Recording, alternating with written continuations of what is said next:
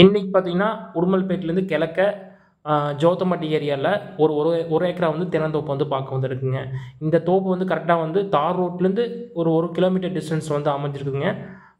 தனியாக வந்து தடம் இருக்குதுங்க. தடம் பார்த்திங்கன்னா வந்து ஒரு பதினஞ்சு அடி தடம் இருக்குதுங்க. கிணறு வந்து கூட்டு கிணறு வருங்க. நம்ம வந்து மொத்தம் மரம் வந்து அறுபது மரம் இருக்குதுங்க. மரத்துக்கு வயசு பார்த்திங்கன்னா வந்து ஒரு பதினஞ்சு வருஷம் அந்த ரேஞ்ச் இருக்குங்க. கொஞ்சம் பராமரி கொஞ்சம் வந்து பராமரிப்பு இல்லைங்க. நல்லா வந்து பராமரித்து நல்லா இது பண்ணால் நல்லா உங்களுக்கு ஈல்டு வந்து இருக்குதுங்க இந்த பூமிக்கு பார்த்திங்கன்னா வந்து அமராவதி பாசனம் வந்து இருக்குதுங்க.